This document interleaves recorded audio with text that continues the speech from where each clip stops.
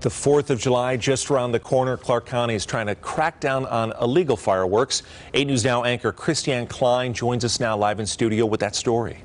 Well, Clark County Sheriff's Office, Fire, and the City of Las Vegas are teaming up to inform the public about the dangers of illegal fireworks in a series of new public service announcements. The new interagency initiative is called You Light It, We Write It. The public is encouraged to report complaints about illegal fireworks online at www.ispyfireworks.com instead of 311 or 911. Now, this helps free up 911 for life-threatening emergencies only.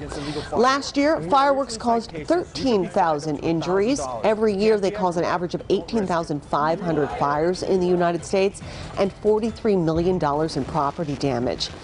Only fireworks labeled safe and sane are allowed, and only from July 1st through July 4th in unincorporated areas of Clark County. This year they're exploring a civil fine versus a criminal fine, right.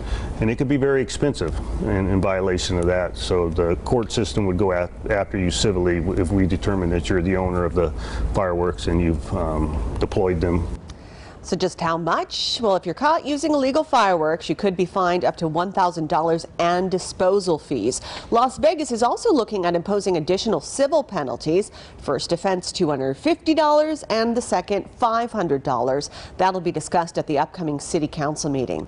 Any fireworks purchased outside Clark County are likely to be illegal, including vendors in Pahrump, Amargosa Valley, and the Moapa Band of Paiutes. If you buy from Moapa, you can shoot it off from a designated launch pad outside the store.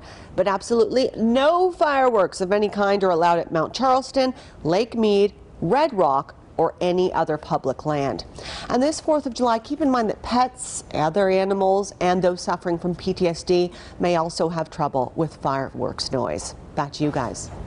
Still ahead.